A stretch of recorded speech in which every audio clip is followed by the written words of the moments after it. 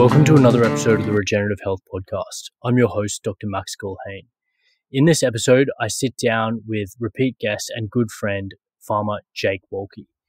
On his regenerative farm down in Albury, New South Wales, Jake is building a highly robust herd of cattle uh, with the goal of minimal human inputs into the whole process. To this end, he's using a breed of cattle known as Nguni, and Nguni are an African breed that evolved in the bushlands of southern Africa on some pretty marginal country, dodging predators, and they're well known and, and praised prized for their uh, high fertility and easy calving. So we I previously talked about uh, Ngunis with the farmer Brian Usher. So if you're interested, check out that episode as well. Jake and I go deep into the attributes of this amazing uh, breed, and you can't help but feeling excited about uh, learning more and I guess tasting some of this amazing beef. Uh, additionally, we touch on an event that's happening at the Wolki Farm in the on the 11th and 12th of February, which is the inaugural Australian Beef Initiative Summit. The Beef Initiative is a, a movement that is promoting uh, food sovereignty and a connection between people and their farmers with the goal of education and helping people connect with the source of their food. I will be speaking on the topic of metabolic health and uh, regenerative farming, and so will Dr. Pran Yoganathan. So if you're interested, check out the links in the show notes below. Uh, on to the show now. Okay, welcome to another episode of the Regenerative Health Podcast. I'm your host, Dr. Max Gulhane, and today I'm sitting down with a repeat guest, regenerative farmer Jake Wolki. Jake, thanks for coming on. Pleasure. Thanks for having me. Great. So today, what I want to talk about specifically is the breed of cattle that you are running on your property, and it's a breed of cattle called Nguni. They're an African breed, and we've talked about them very briefly on our first episode. I did an, another episode with uh, regenerative farmer Brian Usher on on the same topic. But this breed is so interesting and so compelling that I really wanted to dedicate a whole episode to it. So, Jake, um, give us a bit of an idea about Ngunis, how you found them, and what about them makes you so excited. Something really interesting about the Nguni cattle is I've been to Africa twice doing uh, missions work with my local church. And people talk about once you've been to Africa, there's this innate uh, pull back to the continent when you leave. It, it, it's I've been to over 50 countries around the world, most continents and nowhere. I don't have any family connection to Africa or anything like that, but there's this pull that I'm um, always feeling like I'm drawn back to that space. And I'm trying to draw a parallel because on our farm, for the first few years of doing our direct to market beef operation, we'd run the economics on our land holding and environment and the market. And we decided that we we're going to be stockers. So we'd buy yearlings. So steers around a year old, we'd fatten them for six or eight months and then we'd process them and sell them. And because that's the sort of market we've, we're involved in, I've had all the different breeds on the farm. We've had Angus and Hereford and Charolais and Lowline and, and Simmental and Red Angus, everything you can think of. They're all great animals and, and all, uh, you know, some have good temperament, some have bad. They're just like individuals in that case. But none of them are really would stand next to in the pasture and think, you know, these things are special. I don't know if I've drunk the Kool Aid or something, but the Ngunis just have, from the moment I met my first Nguni, and I've been um, around Australia visiting different Nguni farms now, there is just this magical uh, compatibility and draw to the breed. And I know this is a little bit hooroo guru, but sometimes, uh, above all, you have to follow your gut and your instincts. And I, I wonder whether there's some I don't know, like like primal draw to know that this animal is fit for the purpose that we're doing. So the market shifted to get further into your question about why we chose it. The market shifted a while ago, and a yearling steer that we used to buy for eight hundred dollars became over two thousand dollars, and the economics of us fattening that animal to sell it um, was destroyed. You know, we can produce a calf cheaper than eight hundred dollars, so Uh, the, the draw of buying them previously was that they were already a year old. So we, we figured we're about $500 better off. But now that they're over $2,000, that's no longer the case. So I wanted to find something to breed on the farm.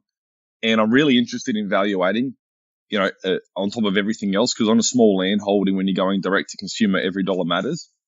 And stacking those value hierarchies is a is a really big opportunity. So I wanted something colourful on the farm, and I ended up buying about 30 shorthorn cows because they're good quality meat, nice temperament animals, and they're pretty. And I thought I could sell their hides. Uh, but I had them for a while on the farm, and I was not impressed with the specific cows that I got in terms of their uh, mothering ability. And we, we had a pretty challenging season, and a few of the, the calves were doughy. I described them as doughy. They weren't getting up off the ground quick, and they were getting uh, pink eye and just different things on the farm. And then you actually went to the local farmers market up at your up at your area and spoke to Bryant, and it was about almost a year ago now because when you told me about it, I googled it. It's exa- the on the headline read exactly what I wanted: small framed, uh, parasite resistant, disease resistant, drought tolerant. I'm like, this is me. And guess what? They come in 80 colors and patterns. So I called a, I called a breeder who's expat from South Africa, come back to Australia. Uh, Edwin Roos. He's got Hen Ham Nguni and I bought my first bull off him the next day. I just couldn't hold my excitement in. And we're actually calving down those animals on the farm right now. So we've had four of our uh, first Nguni first crosses. So they've I've, I've bred them with shorthorns and jerseys, which I'm sure we'll get into why I've done that. And I'll tell you what, the contrast of my last calving of these purebred shorthorns and then this calving, which has still been the same challenging season, really, is we can't even catch these Nguni calves to tag them, put a tag in their ear to identify who they are and who their mum is. And I'm talking about calves that are four or five hours old. They are so sprightly. They're little springboks. And I've told this to Edwin and a couple of the African gentlemen that I know that are in Nguni, and they all laugh at me. And they go, "Of course, Jake. They're from Africa. You know, we've got lions. They have to run fast." Uh, Unbelievable. Yeah, I'm, I'm, passionate about the breed, and I, I think that, that, there's such a value proposition with the animal, and it's a shame that this Western mindset in Australia uh, rags them. All the reasons I love them, the industry doesn't, and I'm sure that we'll get into the nitty gritty of that. But it's it's it's a it's a shame. There's a lot to offer here. Yeah, and uh, it is a new breed in Australia, and Bryant, who I talked to earlier, had himself only discovered them, I, I believe, several years prior from another breeder up in, in central Queensland. Let's give the listener a bit of an idea about the history of the breed Nguni, because as you mentioned, it's an Af- and I said it's an African breed, and the name Nguni is, is actually related to the tribe people who who uh, hold and have raised these cattle. So, give us a bit of an idea about the history of the the, the cows in Africa. Yeah, sure. So I'm no authority, and I've been in it a short amount of time myself. But like you said, there's a there's a uh, native peoples called the Nguni peoples, and then you've also got uh, cattle and sheep that are attributed to them. So these people have stewarded these animals for thousands of years. And if you think about the context, uh, Africa is not all desert. Like people have this mindset that Africa's uh, desert, but Africa has arid zones. It's got um, you know jungle and forest zones, and it's also got very cold areas. And where these animals uh, have been stewarded for you know thousands of years in South Africa is prone to very dry, brittle conditions, but also very high altitude cold conditions. Which, when we're looking at where we're farming here in Australia, you know, we go the coldest cold I receive on my farm is about a minus three degrees Celsius. But then the hottest that I've ever checked was a 48 degrees Celsius, which is you know halfway to blood boiling. It's it's really uncomfortable. So I look at the animal as being uh, I, I, I, love that where it's come from sort of suits the ex- extremities of our climate here. But if you think about the context of a tribal people uh, working in nature with an animal that they've domesticated, they don't have Western farms uh, mindsets and pharmaceuticals to prop these animals up along their journey. So it really is a marriage between the desires of the tribes people, so that they'll be selecting for things like you know temperament and and but it's also nature pushing back and not letting you forget about disease resistance and mothering ability and defense against predators. And so, with with the Western mindset, uh, which I love, but in this context, where we're so quick to give animals a crutch, and and because their value is so high, and we don't want anything to suffer, so it comes from the right heart. The mindset's the right to to help the animal, but you end up with animals that are extremely reliant on inputs all the time. So the fact that these Nguni tribes people have fostered these animals the way they have, I think, is one of the reasons that makes them so powerful. Something else that's cool about the history that I've been reading recently, I've picked up a couple Nguni books. Fantastic. I've been, I've been shopping online and I've subscribed to the Nguni Journal from the Breeding Association in, in South Africa there. Great. But the, the, the there was rules in the tribes. I'm not sure if these still stand. That certain uh, if you had a calf a certain color, you had to give it to the leader of the tribe. Uh, and they and they're attributing this to the vast genetic pool of the 80 different colors because if you if every red calf you had to give to the king, it was in your interest to make sure that you had lots of different colors except red in your herd, and that sort of um, throughout there. So there's lots of these little cool tribal stories behind the breed that I think's exciting and interesting. Yeah, I mean, you can just imagine what the needs were of those people. They would be primitive, uh, nomadic, herder type people whose entire Absolutely. livelihood and survival would be depending on the health and the robustness of their cattle. And you know, there's many tribes in Africa that also uh, are dependent on on cattle. So I mean, it's it's something that is, I think, deeply uh, ancestrally uh, related to human evolution, which is uh, perhaps after we hunted out the megafauna, we found a way of domesticating uh, cows in order to provide this key human source of nutrients for ourselves. So you you can just imagine in a in the same way a uh, a tradie relies on his tools and his ute. You have um, these these people, these tribal people, having their whole life and their whole survival tied up kind of symbiotically with the cow and with the, the, the herd. So they are going to be doing absolutely everything they can with what they've got, which doesn't include drenches, which doesn't include um, veterinary services, Western veterinary services, um, and they're doing all they can to to foster the the health of this breed. So, as you mentioned, Jake, we've got a, a, a breed that are basically adapted to a wild environment. They have to put up with these extremes of the African climate. They have to put up with marginal grazing they, they, they don't necessarily have a, a beautiful, you know, uh, green field every single day to, to, to, to, graze on, and they have to put up with with predators. So what you have is it is as you said is a breed that is highly fit for purpose. Um, so we we touched on it a little bit last episode, but give us an idea about exactly what you mean by that and how how does that kind of make your job as a farmer easier? Well, the first tenants on our farm and, and the first value hierarchy that we uh, re- reference when do, doing decision making on the property is animal welfare. And animal welfare is, for me, it's not letting your dog sleep on the bed. Like that's one interpretation. You know, people want to give their dogs. They go to the they go to the pet shop and they buy them these synthetic green toothbrush shaped blueberry flavored dental sticks, and they've got little Tito on the ground eating this plastic to clean its teeth when the dog wants a bone, right? Like we've complicated this uh, beyond imagination. And welfare for me, you, you first have to look at the the context of what the animal is. So it, it's a chicken, it's a bird. If the chicken's a bird, it doesn't need to be in a cage. It needs to be outside. Like we've just got it so backwards, straight up. The the industrial industry pushes back and goes by locking our birds in cages, we can prevent the import of disease from wild birds getting to our chickens. And for me, it's just such a uh, it's a it's a shame that we're even at that. Like, what? Why have we bred a bird that's so immunodeficient that it can't socialize with other birds in the natural setting that a bird's meant to be?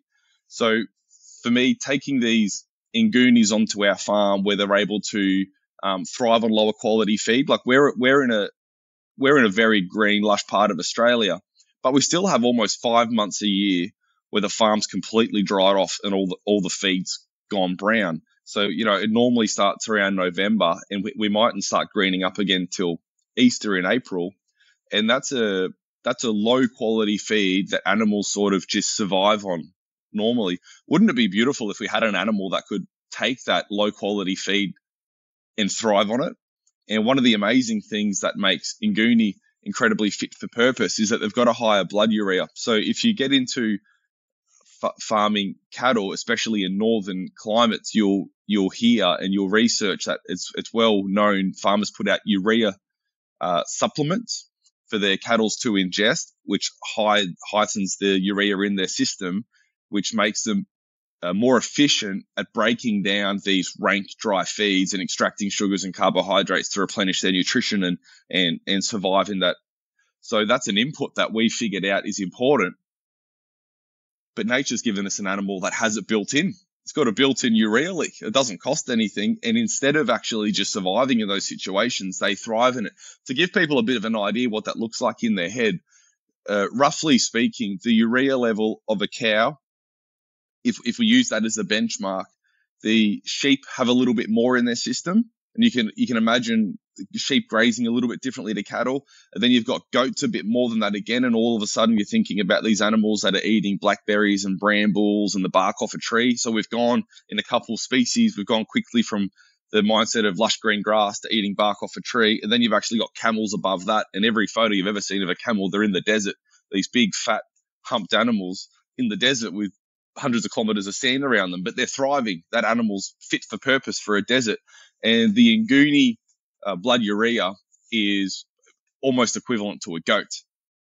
And so there's so much potential in our uh, ecosystems to, you know, harness what these animals have given us in terms of their ability to thrive. And and so for me, for me, I've got I'm in a lush area with plenty of water, 800 millimeters of water a year, but I still drive five five months of the year. So instead of having to go out there and supplementary feed my animals, you know, for me, welfare isn't me sending staff on a 45 degree day into the paddock to take hay that we bought from somebody around the corner that's had to use um, pesticides and herbicides and synthetic fertilizers to grow and then truck it to my place to feed the animal so they can just get by.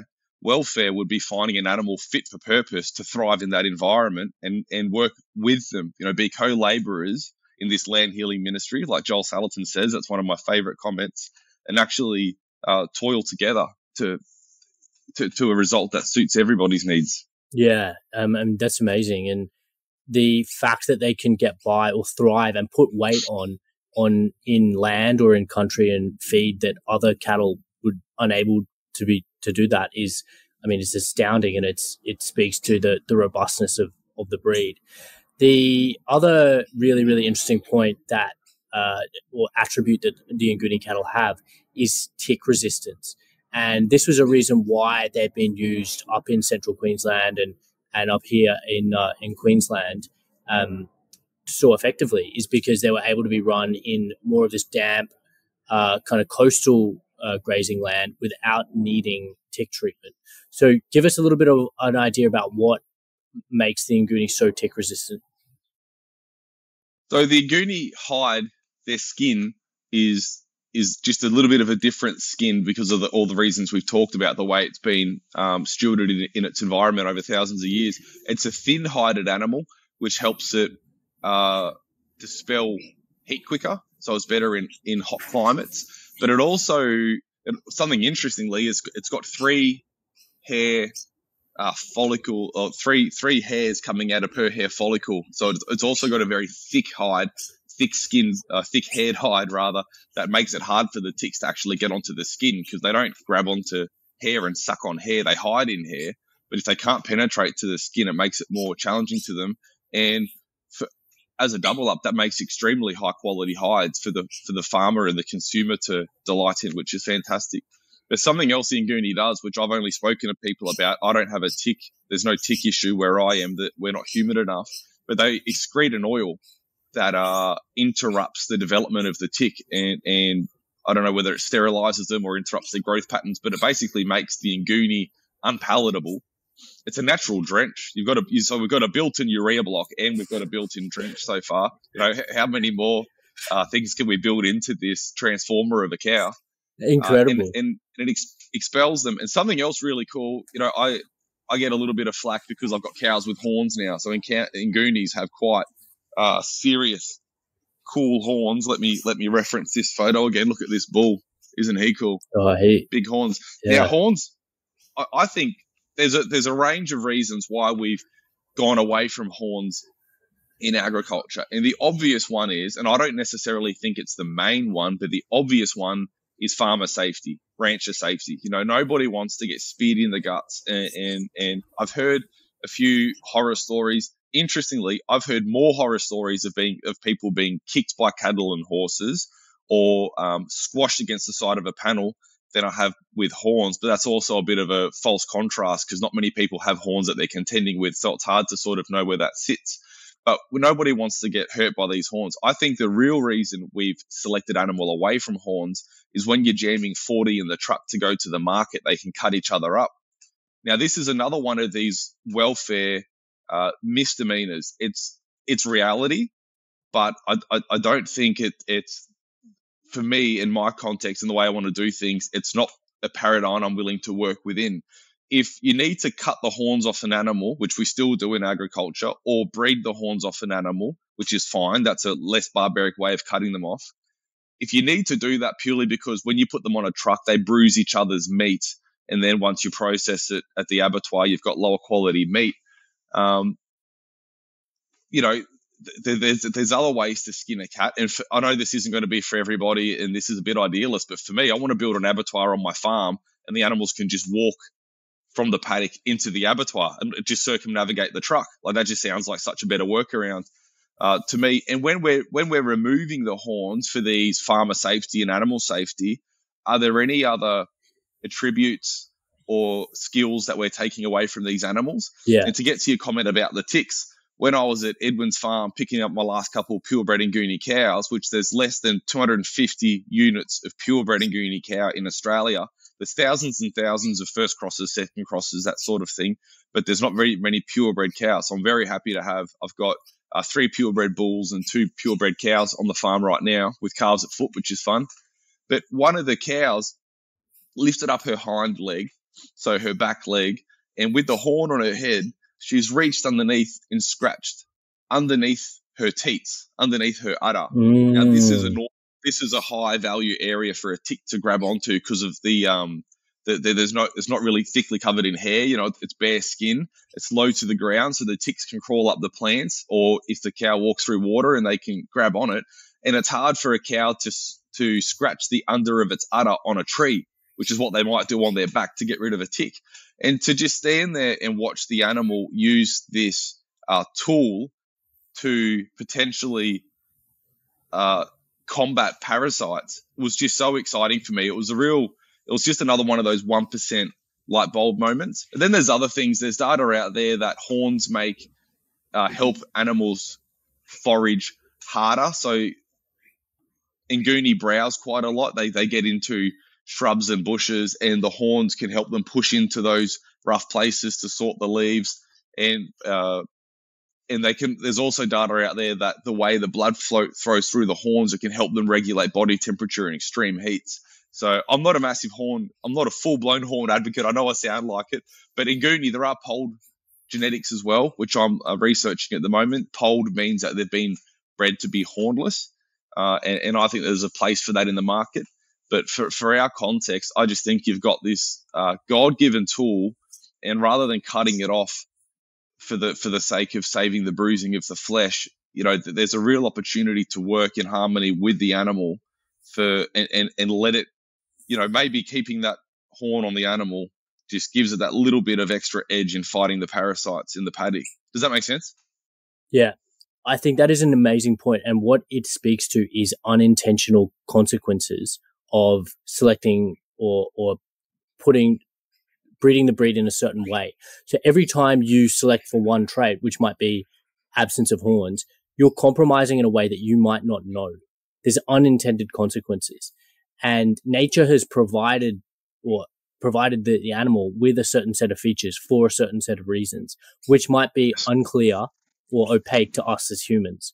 And, you know, science and medicine is filled with examples of what is called epistemic arrogance, um, as Nassim Taleb would, would, would call it, which is basically humans not understanding what they don't know and making these decisions with an arrogance that they understand the whole system and it's a complex system and in truth they don't and they're essentially making trade-offs that that have consequences and ha- have costs. So the, the example of the cow with the horn um yeah look she had the horn because perhaps it's it prevents her from from becoming tick tick and bitten on the udder and that again was probably increasing her fitness the fact that she she has horns.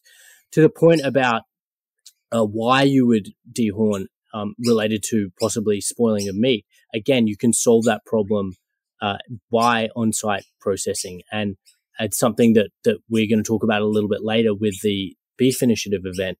But we we believe that bringing the whole production process on on house on site and doing everything locally is the best way forward um, for us and for, for, for the cow. So um, I, I, want you to speak a little bit about the history of Nguni in Australia, because as you mentioned, there's only 250 purebred animals. How did this African breed get to Australia, and and where are the most of the, the majority of these animals located? Yeah, sure. The basically the reason they're coming here is you've got uh, generational South African farmers that, with the current uh, economic and political climate there, they're they're basically fleeing South Africa and to, to search for uh, places around the world where, where their families are safe and they can farm and earn a living and go to school and just live the lives that you know here in Australia we're, we're so blessed to have. Uh, but these people love their lifestyle and love their animals, and I've been really impressed watching the, uh, I, I, guess, unity from these South African farmers that I've met. Uh, I, have spoken to a few online. I've met quite a few in person now, and there, there, there seems to be a real uniformity and unity around their uh, husbandry and animal knowledge and land management that we we just don't seem to have. I haven't quite found it the same here in Australia. But essentially, when they're selling up their, fa- their, their family farms and getting out of the country, they're taking uh, eggs and sperm out of their cattle. And this is a really great example of technology just being wonderful. Uh, because I'm such a, I guess, holistic based, wanting to do everything organic and naturally and not rely on technology for everything, uh, I, I'd love to point out that, you know, we're not anti technology. And I think this is one of the best uh, examples of that. They've, they've, they've harvested sperm out of a bull. You can imagine how they do that. And then you can flush eggs out of a cow. So your cow ovulates and the vet comes in and they they can flush the eggs out and and freeze them down and you can get six to eight or so every ovulation out of a good quality cow. And then when they import those genetics to australia if you put that sperm in a donor cow you're going to have a first cross. So if you if you took an nguni bull and put his sperm in an angus cow the, the baby's going to be a first cross nguni angus.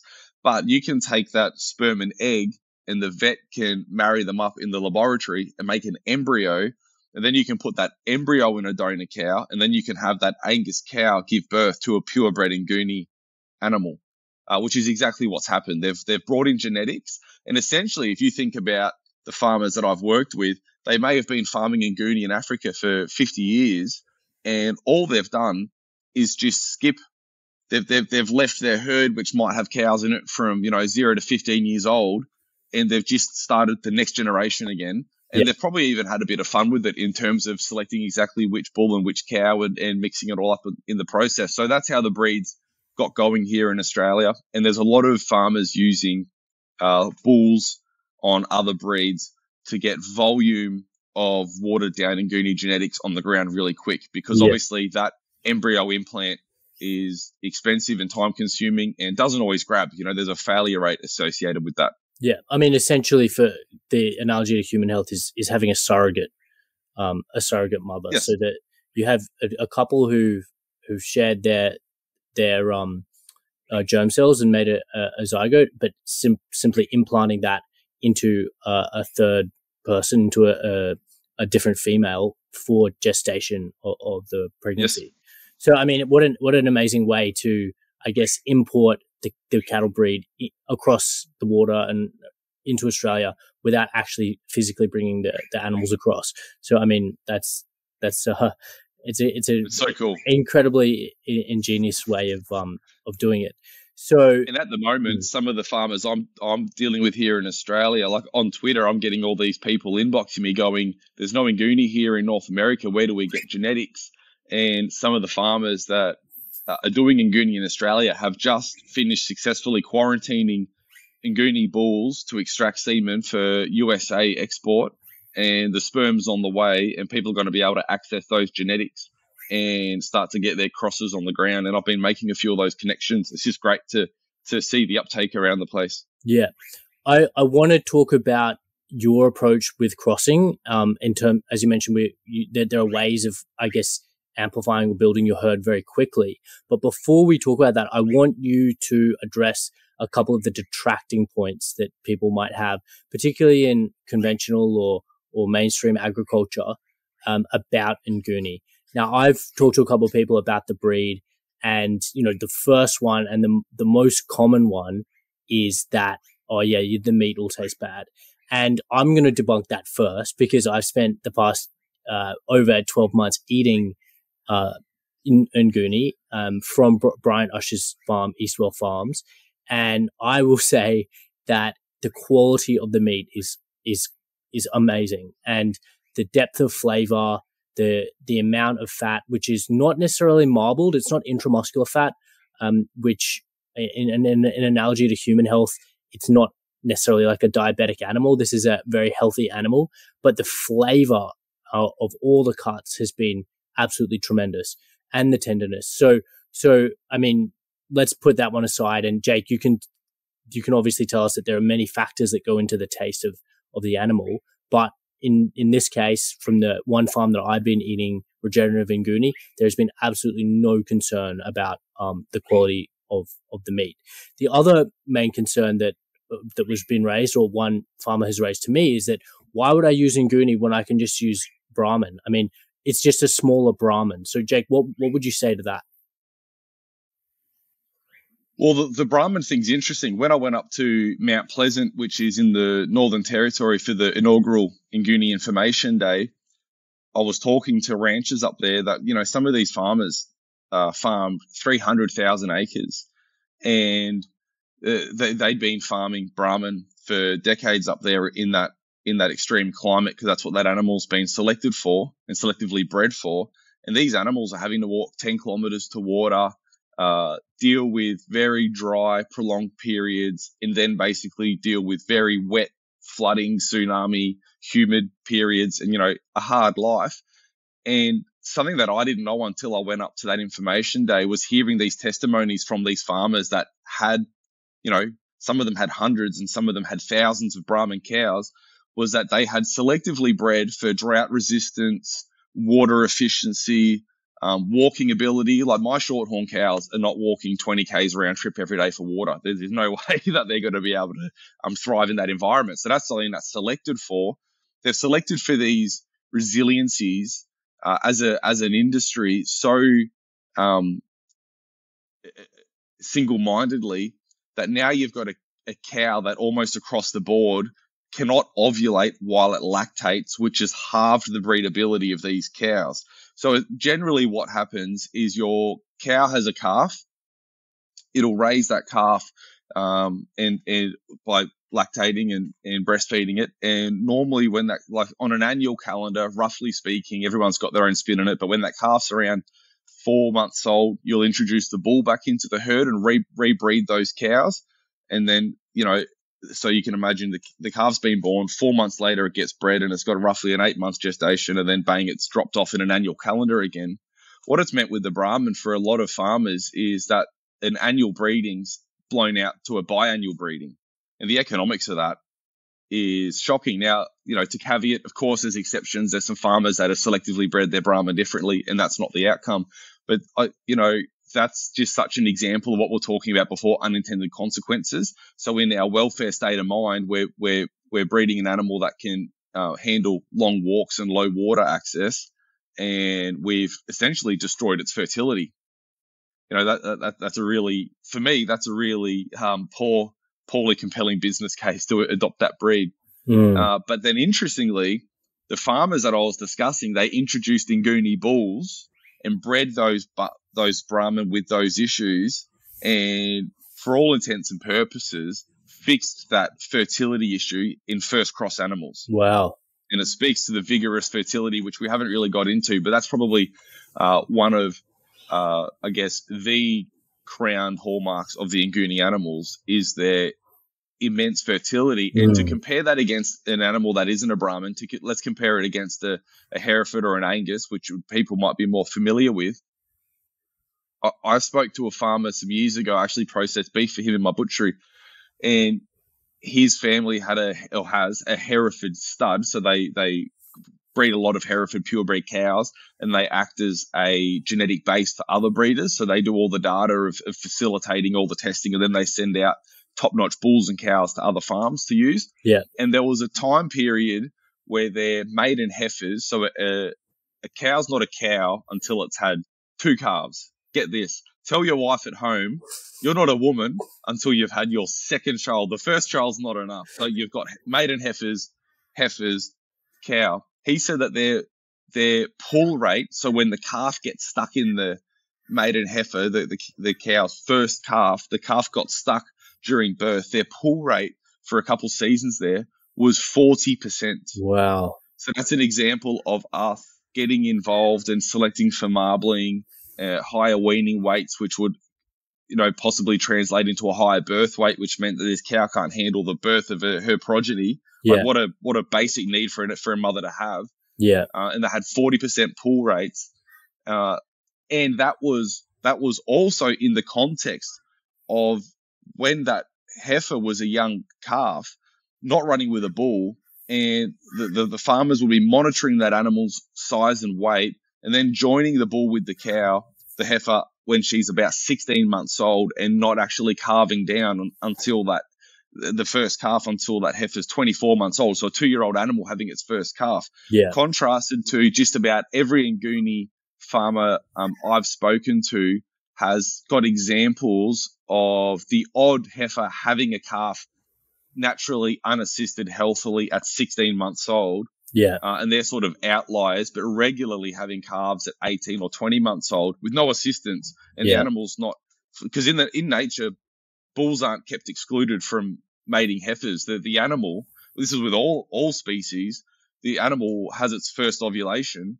and game's on the males can smell it and they want a piece of it. You know, this is this is the natural cycle of things. And to me, that's such a strange mindset that we, you know, we can't breed a dog until it's second heat, or we can't breed a cow until it's 12th heat, and all these different uh, paradigms that we're stuck in. No doubt there's reasons for that because the animals that we have now can't handle those first matings. Yeah. But for me, th- there's really valuable economics and a compelling welfare argument to have animals that are, are vigorous and healthy enough that they can handle that first ovulation uh, breeding. And to come to do a bit of a full loop and segue back to your taste comments before, Max, uh, that that deepness and that richness uh, of taste in the Nguni meat that you're tasting, I would like to propose that your body is enjoying and thriving on the vitality of the animal that you're consuming the amount of consumers that tell me I haven't been able to digest pork for 30 years and I haven't eaten pork for 30 years, but then they eat my pork and all of a sudden there's no indigestion, there's no diarrhea, there's no stomach cramps. For me, that's a throwback to um, a healthy animal in a healthy environment. They've, they've been used to eating, I call it slave pork, but pork raised in sheds for yeah. the last few decades. And now they've finally had a heritage breed animal fit for purpose in an environment that it appreciates and the environment appreciates it, and they've got food that their body can uh, thrive on. And so there's so many things that contribute to quality of meat. And these Brahman that we're farming up north, a lot of that meat's for export because the Australian uh, palate allegedly doesn't like it. I don't know. I've, I've never knowingly eaten Brahman, so I can't make a comment to that. But the I think if we put our effort into healthy animals, diverse pastures, kind stock handling, and then butchers that actually know what they're doing and and treat their animals that they're butchering with uh, time and respect. Because butchering is not a fast exercise. You don't just want to uh, slaughter an animal and then cut it up into pieces two hours later and deliver it to consumers. The, these animals need to hang and test their eyes and age and mature, and they need to be treated with respect because they've given us their lives. Uh, I think there's so many pieces of the puzzle to having amazing quality meat that breeds one of them. You know, meat quality has not been the deciding factor for me to get into Nguni, even though I believe the meat qualities are exceptional. But there's many ways to skin a cat. Is I guess the is where I'm getting to with that. Yeah, and um, I mean the point is so well taken, and I think that when we have the more human intervention we have in the food supply, in my opinion, the worse the health outcome. And when you see fields of monocropped corn, soy, wheat, um, requiring you know ever increasing amounts of industrial inputs like synthetic fertilizers, herbicides, pesticides, fungicides, um, and then you are, you, are harvesting them on, on massive scale and storing them where they're perhaps having mold contamination. Or, or the more human intervention in, into the process, the less healthy and the less compatible that end product food is going to be for human health. So as you as you mentioned with the with the beef, it, the, I feel like it's almost a corollary of stepping away from input in the raising of the of the cow or the the animal or the or the pig is that you're getting a more healthy product. And we we know how healthy game meat is for humans. I mean, game meat is um, amongst the m- most healthy uh, meat for a range of reasons to do with uh, the fatty acid profile and, and, and, all kinds of other things. So I, I love it how we're marrying this idea of a robust, uh, kind of intervention free breed with what I believe is, you know, optimal human food. And we get, we've got a product or, or a cow and a, that is so fit for purpose on so many different levels. Um, the point about fertility, I just wanted to touch on before we sp- talk specifically about the way that you're approaching Nguni and, and breeding Nguni is how many years can these cows have calves for? I mean, it's something, what is it, 18 years, something remarkable? Yeah, there's, there's, uh, data or, or I guess I, I like this saying that data is the plural of anecdote. You know, a lot of this stuff isn't documented fantastically, but when I did that enormous 24 hours of research before I started, before I bought my first uh, Nguni bull. I spoke to uh, three or four breeders who'd been in the game for decades each, and uh, I think one of them had pulled one calf once. Wow. And that was the, the mother had uh, twins in her womb, and they twins often get tangled up on the way out, and it's a real uh, headache. Uh, but you know, so they're, all these little anecdotes about easy calving that to me just paints a, a, a data rich um, yeah picture. I'm sorry, I can't remember what you just asked me, mate. And, and the got, duration, got, the duration of the fertility. Oh, I got I got excited about my own segue. yeah, so the the like the economics of a a, a, a, cow that's fertile for a long time is exceptional because you're not having to increasingly put in cow replacements and and you can send a heifer or a steer off to slaughter at 16 18 months but you mightn't be getting a, uh, you might have to hold them quite a bit longer than that before you get a calf. And then that calf's got 16 months before you get a return on it. So it really screws up the economics. So yeah. I've spoken to breeders that have been getting a, an annual calf out of an Nguni cow for 14, 16 years. Wow. And, and, and, they're not extreme outliers. I, my two Nguni cows that I purchased from Henham Nguni, uh, six, uh, uh, sorry, they're seven and eight years respectively, and they're both currently pregnant with their um, sixth and seventh calves. So they're they're annually so that the year that they miss a calf, the way my breeding program and the and the farms that I work with, the way our programs go is they're out of the herd. Yeah, uh, they're, they're, showing that their fertility is slipping, or they weren't able to handle uh, ovulating in the conditions that that year offered, which is not, not acceptable uh, because that's the reality of the context of these animals. So, you know, it, it's very often, it's very frequent to be uh, culling cows out of a herd at three, four, five, six years because they're no longer fertile and they're skipped uh, gestation for that season. But, yeah. it, you know, there's a lot of Ngunis out there, 8, 12, 16 years. And I've heard of bulls working, breeding herds 17, 18 years old, which is just out of control.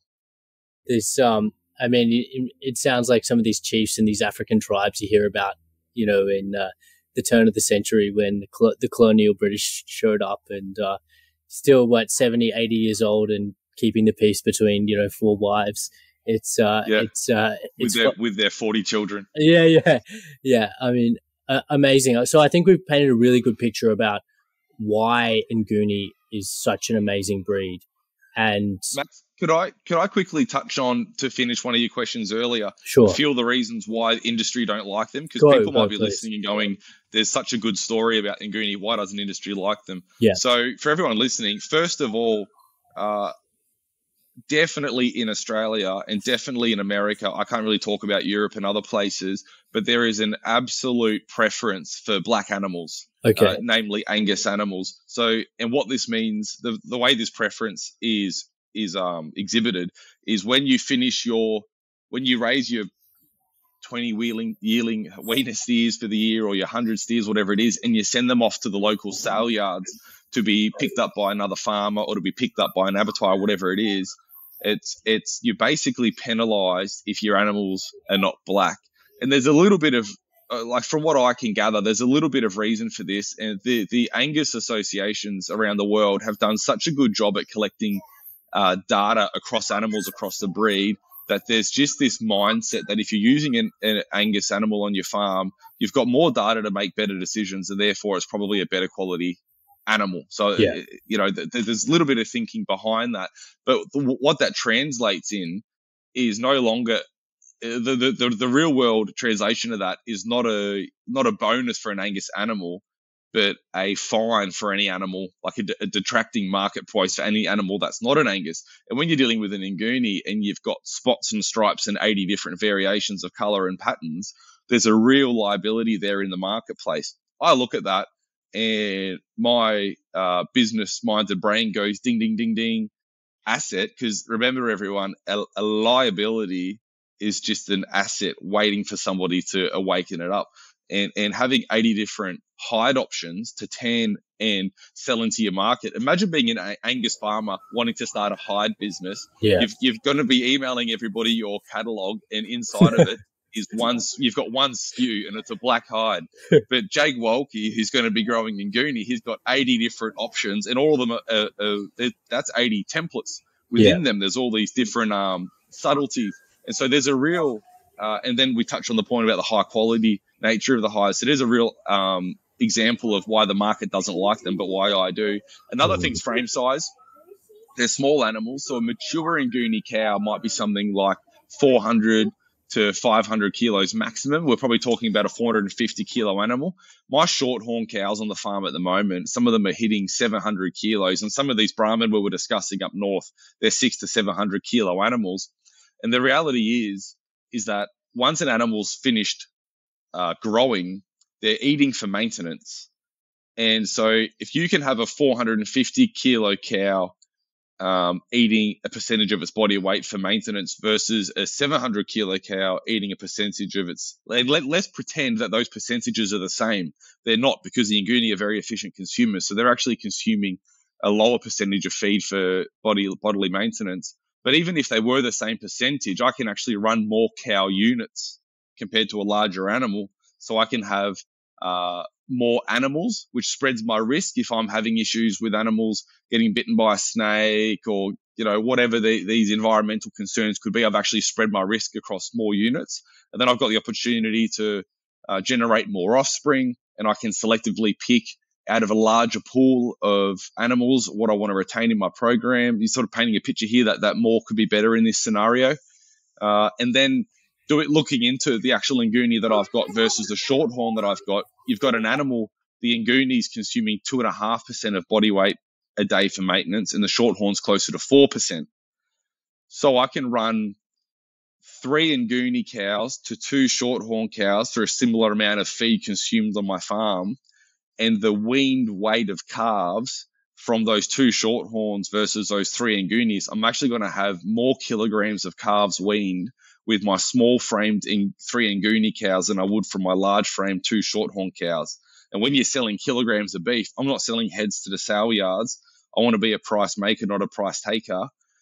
When you're selling kilograms of beef, it's just really compelling. Yeah, no, it, it, it, that completely makes sense. And I guess for the listener, I really want to emphasize the point that what Jake's doing is really playing a different game. There's this conventional game that's focused on the traditional heritage breeds um, that are highly involve high amounts of human intervention and maintenance and very relatively narrow gene pools that have all this established kind of protocols around it. Um, but I, I really love what Jake's doing, which is value adding so much using a smaller cow, being able to, to carry more on the property, value adding through direct to consumer, through hide sales. I mean, it's it's a completely different game you're playing, and and I think it's such a, such a great way of of doing it, and really um, giving the consumer and giving us as customers uh, an an amazing product at, at the same time. So, um, did, before we move on, I really well we can I get you to to explain exactly how what you are expanding your herd as quickly as possible. Because again, that's a pretty unconventional approach that most farmers and, and ranchers will be scratching their heads at until you explain it. So there's not many purebred animals in the country, and I want the genetics that Nguni offer. So to give people to give listeners an idea, these eight-year-old Nguni cows that I purchased, I paid about eight thousand dollars each for, and you can buy a beautiful um, well bred, data backed maiden heifer Angus for, you know, three grand. So I've everyone's looking at this going, Jake's bought these old flogged out cows and he's he's paid, you know, they should be sold at the sale yards for a thousand dollars and turned into dog food is sort of the attitude. Uh, and and you know we're, we're in a different mindset here, so that's not what we're accepting. Yeah. But to get genetics going quickly, I I can't go out there and buy more Nguni cows because they're just not there. Um, and, and even if they were there, I wouldn't be able to afford them. So what I'm doing is I'm crossing them over animals that I can source and I can afford. So I already had these 30 shorthorn cows. So what I've done is I've, I've purchased my Nguni bulls and I've put them on top of the shorthorn cows and they're calving down right now. I've got I've got a few of them on the floor and, and on the ground and they're doing they're doing fantastic. And that's a first cross. Now what happens is if I retain the heifers, the females out of those 30. Let's say I get 15 heifers, and then I get another Nguni bull and breed it over those first crosses. So I've gone my second purebred bull, they're a second cross. And instead of being 50 50, they're now 75% purebred uh, Nguni, or 75% Nguni, 25% Shorthorn. And basically, rule of thumb in the industry is if you do that uh, breeding process for five generations, it's generally accepted that you're back to purebred. And that's something that I learned from breeding dogs. I've been breeding dogs for about six years, and, and they've they've done some marvelous things. Like there was this example, I, I believe it was the Dalmatian has these uh, urinary uh, crystals in, in its urinary tract that really hurt the dog when it's urinating, and it's basically across the whole breed of Dalmatian all around the world. I believe someone in America crossbred it with a King Charles Cavalier, which you can imagine that dog would look nothing like a Dalmatian. But the, the, the urinary health and the pancreas and whatever it might have been in the King Charles Cavalier was so robust that it nuked that uh, liability out of the Dalmatian. And then they've taken male Dalmatians and bred them over those cross progenies for five generation. And at the end of the process, they've ended up with a dog that looks like a Dalmatian, works like a Dalmatian, you know, sounds like a Dalmatian, and doesn't have urinary tract issues anymore. Wow. And I just think that that's such a um, amazing example of using genetics. And and the real shame for me in that situation was that the the pedigree association that you do all your paperwork from refuses to accept that new Dalmatian as a purebred animal, even though it's far genetically superior to any of the other Dalmatians because it doesn't have this urine issue anymore. Like that really gets my um that's not welfare, folks. No. Is it? That's no. like that that that's penalizing health outcomes for animals. Like that yeah, really, yeah, v- gets vet, up my nerves. The vet association uh, uh, influence, maybe. Yeah, it's just it, I don't know. Don't even get me started. That's one that'll get me cancelled if I go down that one too hard.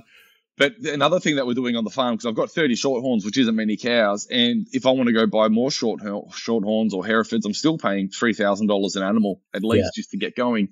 Yeah. So I've been working with a local uh, Jersey dairy so Jersey's obviously a type of breeding, a type of milking cow. Yeah. You've got your your Friesian Holsteins, which are, are really tall black and white spotty ones, and then you've got your Jerseys, which are your smaller frame tan coloured ones. Yeah.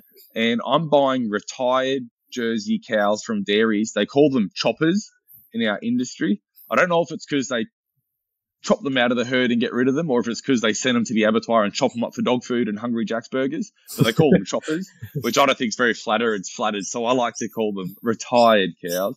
Yeah. Uh, and I purchase these re- retired cows for very low cost. So I get them from anywhere from like 900 to $1,100 and they're a fully functioning, uh, talking, uh, sorry, walking, mooing, uh, eating, grazing, beautiful cow. The jerseys have beautiful natures. They're small framed, easy calving, obviously high quality and high milk production. Yeah. And their meat, meat quality is absolutely fantastic. I'm, a, I'm an extreme advocate for Jersey meat. Yeah, I love Jersey beef. I'm it tastes amazing. It's so good. I had somebody have a go at me on Twitter this morning because uh, my claim about Jersey meat being uh, good was incorrect, and I just replied demonstrably wrong. it's Yeah, such yeah, good it- meat. All you got to do is it's- eat it. It's got a, it's got a big yellow. Uh, it's got a really yellow fat cap, and it tastes amazing. Very. It's got a trademark yellow fat. I'm not entirely sure why. I think it might be to do with the fact that it's a uh, most jerseys are B2, uh, sorry A2 uh, milk producers, which is just Mm. a different quality of milk. yeah, Uh, but I'm actually going to send off some Jersey meat for uh, uh, data like nutrition testing to, Yes. to figure out exactly where it benchmarks against these other breeds. I'm going to be doing that with Nguni.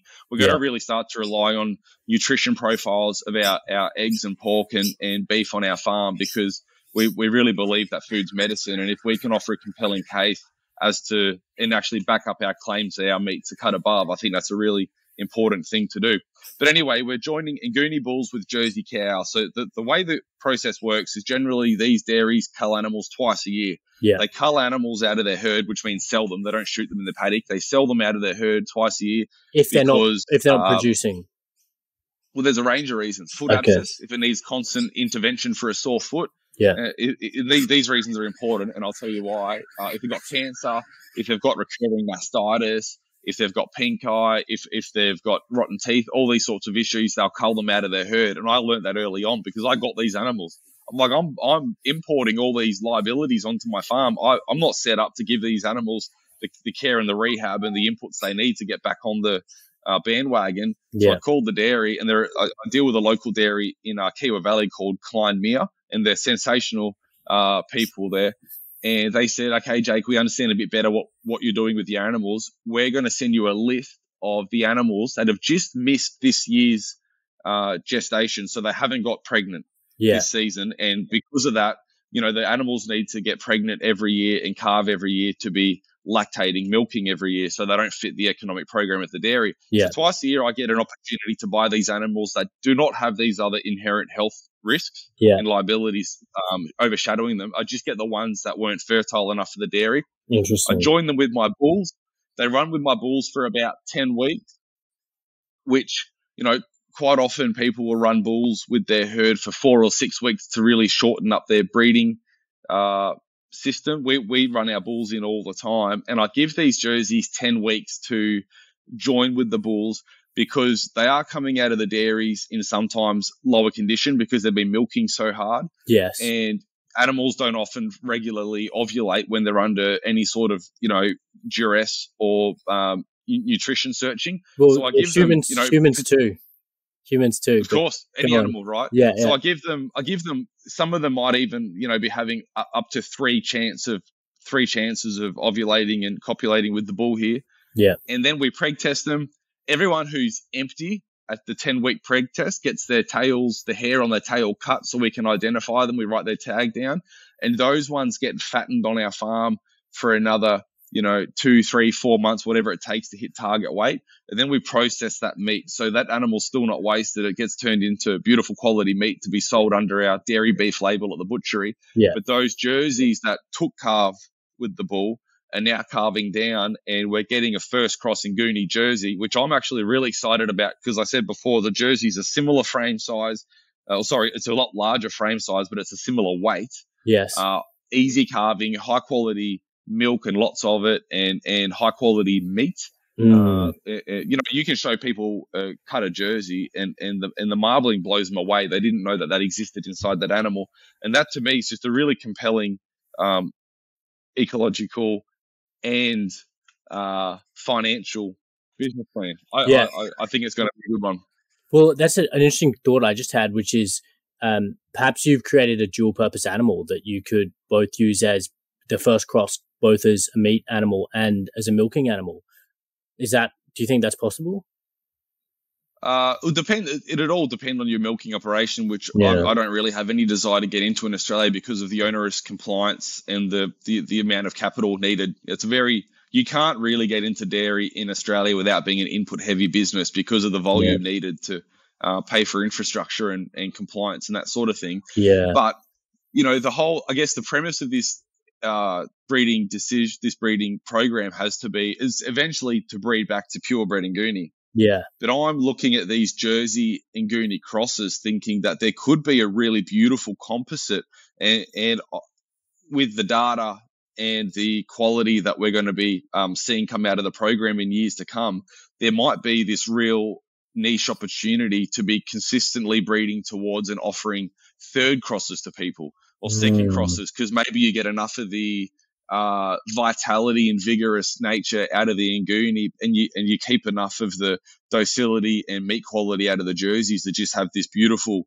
Wolki breed of cow or whatever it might be. So we'll see. I, I there's there's no preconceptions. It's just the the reality will be the reality, and we'll judge it accordingly to our context. Amazing. That sounds so exciting, and uh, look forward to tasting and seeing what these cows um, uh, come up with. Uh, before we go on, I just wanted to get you get an idea about where you're looking at. I mean, we asked you at the, the last podcast what your vision is for for the Wolki farm um, and the Wolki herd. I feel like that might have been fleshed out a little bit more since we we, we last talked. What I mean, why there shouldn't be any reason why you can't rotationally graze. You know, one thousand cows, two thousand cows you know, on a larger scale. So, so tell me, what are you thinking? What do you, what do you, what's your vision at the moment and how big do you think you could get this operation? I, I'm a little bit, uh, maybe bipolar. I don't know if that's the right analogy on this topic, but you know, a lot of the things that I love about the type of agriculture, regenerative agriculture that we're doing, is that we've got low cost infrastructure. We can we can scale nice like nice and slowly without putting heaps of money in there. We're um, we're flexible with transportable infrastructure, and at the moment, as I'm going, I'm paying cash for everything. I'm not taking on debt. So when I buy another 40 sheep to come into my ewe flock, or when I buy some more Nguni cows or everything, it's all nice and organic, and and, and we're growing, and and and that to me is uh, uh, just feels nice, right? Not taking on all this risk. Yeah. But I've got a I've got a retail business background, and you know my family's not uh, new to risk and we're not shy to risk.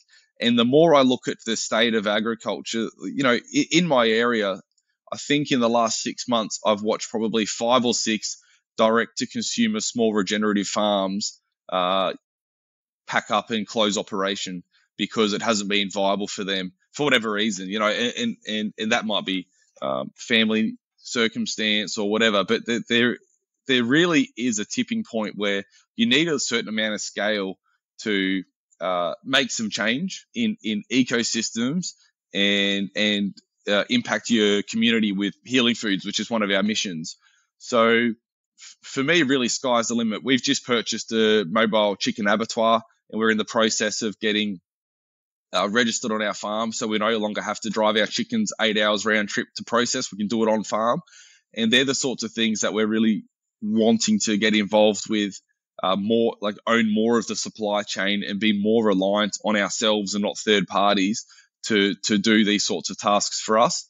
So, you know, I, I have just leased a bit another 150 acres or so, and I've got another few hundred acres offered to me, and we are going to be growing our beef herd aggressively. I guess my my short term goal in the next few years is to have 500 breeding cows, all with some level of Nguni blood in them uh, that that's sort of this this little um, hallmark that I've got in the back of my head that I'm that I'm striving towards. I've never been a person that I guess needs, you know, everyone writes down goals and and and and has these programs to help keep them accountable. I've, I've and I'm sure that's valuable. I, I write lists and, and I write plans and things, but I've never sort of needed those things to motivate myself. It's always there's always this underlying current of growth.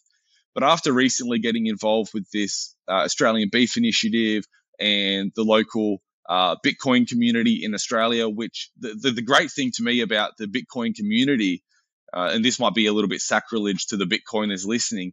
It's not the Bitcoin.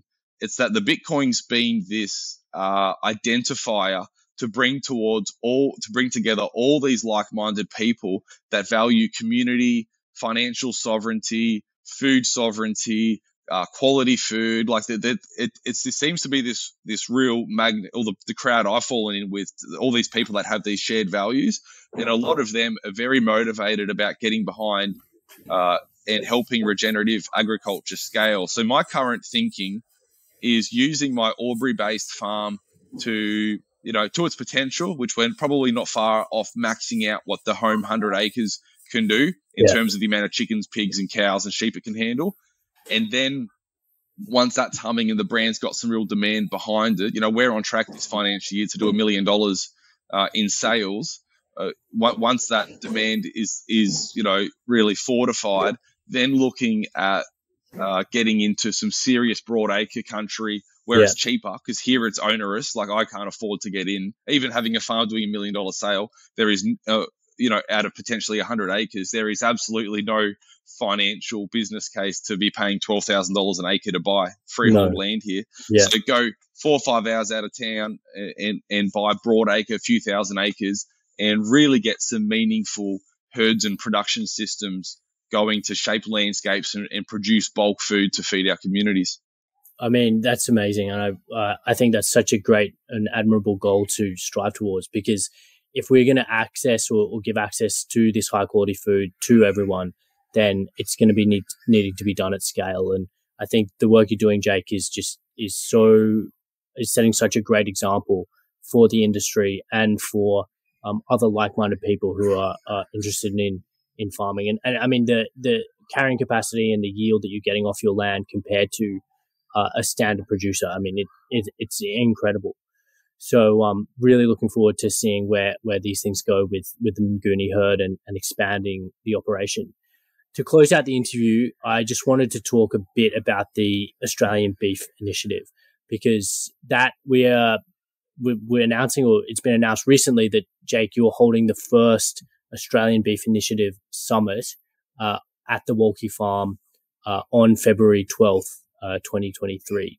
So you gave us a little bit of an idea about what the Beef Initiative is. Can you explain to the listener what is the Beef Initiative and why should they be interested in it? Sure. So the Beef Initiative is a uh, a group of people that are really passionate about educating consumers on the the health benefits for your own um, sovereign health and vitality of beef, yeah. and, and how important that is as a staple in your diet you know the the the industry at large, whether it's um, privatized, highly processed foods or governments, have been smashing red meat intake mm. for a generation now, for decades now, as, as being a heart disease risk and rotting in your bowel and giving you bowel cancer. Imagine if they'd spent a fraction of that warning people about the damage of sugar.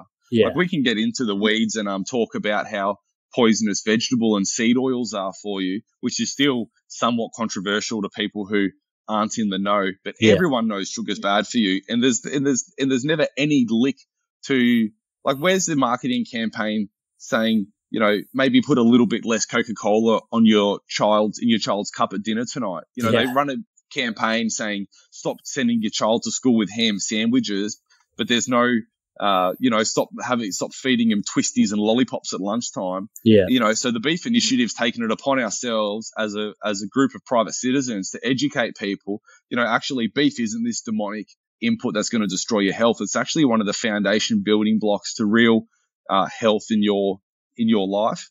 And then at the same time, when we're grabbing people's interest with that, teaching them about different farming methods and how different qualities of, of, of welfare outcomes and nutrition outcomes can be achieved and environmental outcomes through your farming methods. Yeah. And then the way you wrap all that up.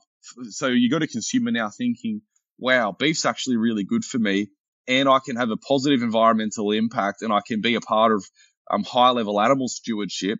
But how? Like I'm not going to go to Coles or um or a commodity supermarket and buy commodity untraceable, untrackable, possibly feedlot protein off the shelf and be contributing to this community.